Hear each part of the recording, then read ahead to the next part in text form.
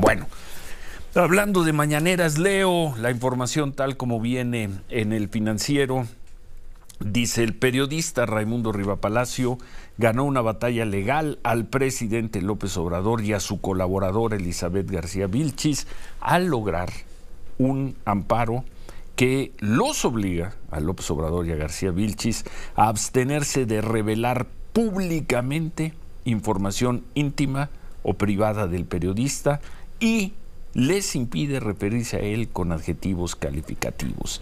De hacerlo, si López Obrador no respeta este amparo, dice la sentencia, el presidente López Obrador y García Vilchis deberán mencionar y exhibir las pruebas, uh, uh, uh, las pruebas que sustentan su dicho, así como otorgar el derecho de réplica, arriba Palacio dentro de las 24 horas siguientes a las manifestaciones e implicaciones que se hagan. Eso de que van a presentar pruebas no lo han hecho nunca. Dos, que le van a dar el derecho de réplica. habría que ver si lo hacen y luego en qué términos lo proponen. Como sea, es una batalla larga la que has dado, Raimundo, Raimundo Riva Palacio. Gusto en saludarte siempre, Raimundo periodista de tantos años, de larga trayectoria, director de medios, fundador de medios, bla, bla, bla, bla, bla. Y hoy, entre otras cosas, uno de los columnistas estelares del financiero. Pues felicidades por este amparo y a lo que obliga al presidente y a la señora Vilchis. Pues sí, eh, decías tú una larga lucha, efectivamente son pues casi cuatro años en dos tribunales, eh, un tribunal que fue larguísima, larguísima esa batalla, que al final eh, desecharon el amparo, porque aunque en la resolución argumentaban que tenía toda la razón, no era la ventanilla, pues fuimos a la otra ventanilla y resulta este amparo.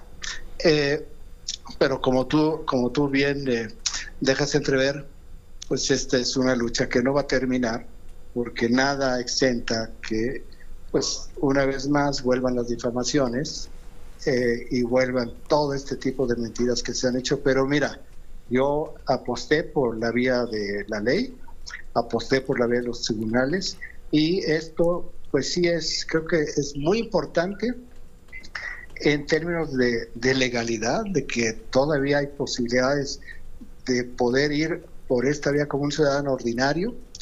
Eh, nunca lo hice yo, nunca lo litigué en medios, siempre lo mantuve con mucha discreción.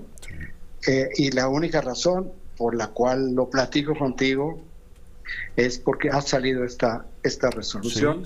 Y en definitiva, Ciro. Y me consta, Raimundo, porque tú me contaste de pues todas estas acciones legales que estabas tomando, me lo contaste en pláticas que hemos tenido hace dos años. Más, años, tres. Y nunca dijiste nada, ni usaste tus medios, ni saliste a buscar entrevistas, hasta bueno, hasta que se conoce esta resolución y obtienes este amparo. Así es, y, eh, bueno, pues eh, ojalá, ojalá yo hubiera más de más colegas, más amigos eh, que siguieran esta ruta. Sí sé que es una ruta larga, es una ruta que muchas veces es frustrante, pero que entre más personas, entre más colegas puedan ir avanzando en esto, pues un mayor contrapeso y una mayor rendición de cuentas se va a dar al presidente de la República, que es muy interesante la resolución, porque esta resolución no me da ninguna carta de impunidad y lo establece perfectamente. El presidente tiene todo el derecho de poder hablar lo que quiera sobre mí siempre y cuando, como tú lo subrayaste, presente pruebas. Todo lo que ha dicho, todo lo que han dicho sobre mí es una infamia es un daño reputacional, que es un daño reputacional que no soy el único que lo ha tenido, tú eres otro de los que ha tenido un gran daño reputacional y muchos de ellos, y que tienen una afectación, una afectación personal, afecta a nuestras afecta a nuestras familias, a nuestros hijos que nos preguntan, bueno, y eso es cierto, las cosas que les dicen en las escuelas, las cosas que les dicen en la calle, las veces que nos han detenido en las calles para increparnos sobre lo que dice el presidente, por supuesto que esto va incluso más allá del daño reputacional. Yo he tenido suerte, Ciro, de que me he cruzado con personas que han sido civilizadas eh, y que cuando me han dicho de cosas hemos podido establecer un diálogo.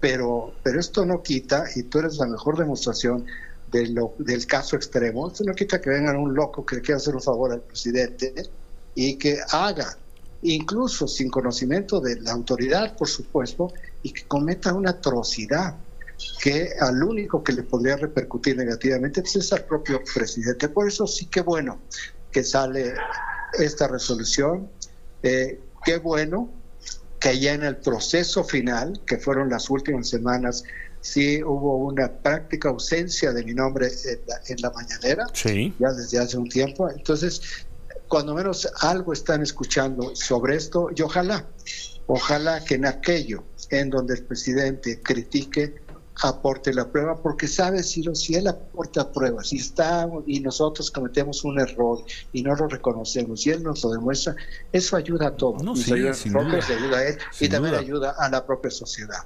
Entonces, no son cartas de impunidad, son simplemente un, un hasta aquí a los excesos y a los abusos. Y eso yo sí me congratulo y lo celebro mucho. Pues felicidades. Oye,